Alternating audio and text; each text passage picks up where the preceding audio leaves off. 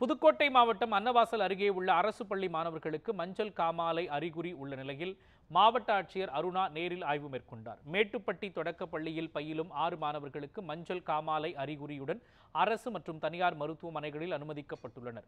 இது தொடர்பாக மாவட்ட சுகாதார அலுவலர் ராம் கணேஷ் உடனடியாக ஆய்வு மேற்கொண்டு மருத்துவ முகாமிற்கு ஏற்பாடு செய்தார். இதனைத் தொடர்ந்து ஆய்வு செய்த மாவட்ட ஆட்சியர் அருணா மாணவர்களின் உடல்நிலை குறித்து மாவட்ட சுகாதார அலுவலரிடம் கேட்டறிந்தார். இந்நிலையில் அப்பகுதி மக்கள் பயன்படுத்தும் மேல்நிலை நீர்த்தேக்க தொட்டி தண்ணீரை ஆய்வு செய்ய அதிகாரிகளுக்கு உத்தரவிடப்பட்டுள்ளதாகவும் ஆட்சியர் குறிப்பிட்டுள்ளார்.